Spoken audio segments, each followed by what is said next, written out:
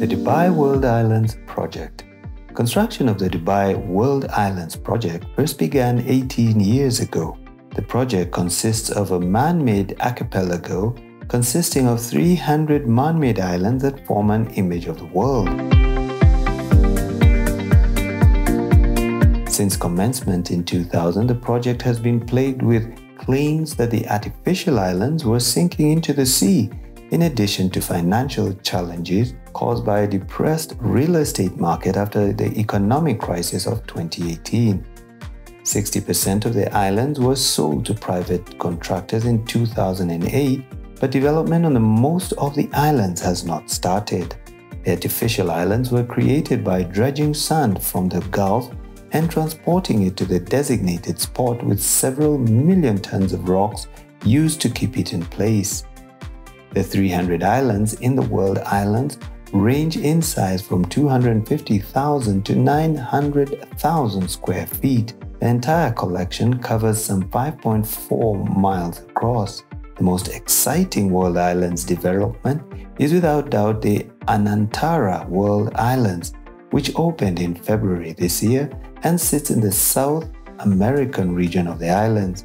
The resort's 70 accommodations include suites, beach villas, and pool villas, all of which feature an abundance of outdoor space in the form of either a private balcony, deck, or terrace. There's a host of amenities too, including a Thailand inspired spa, an open air cinema, and a floating lounge.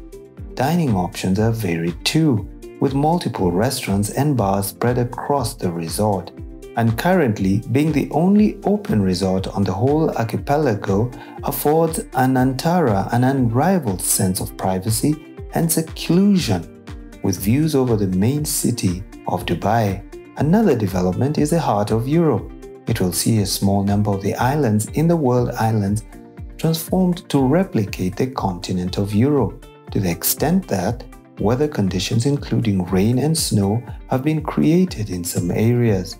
The Heart of Europe project includes the building of a series of luxury hotels, private mansions, and floating villas, each of which is designed to transport guests to different European destinations, including Monaco, Venice, Sweden, and Germany.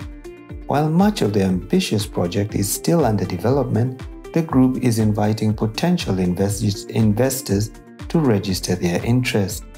And that is all that we have for you on the Dubai World Islands project. I hope you enjoyed this video. If you did, please give it a thumbs up and be sure to subscribe so that you don't have to miss out on any of our upcoming videos on the building and construction industry around the world.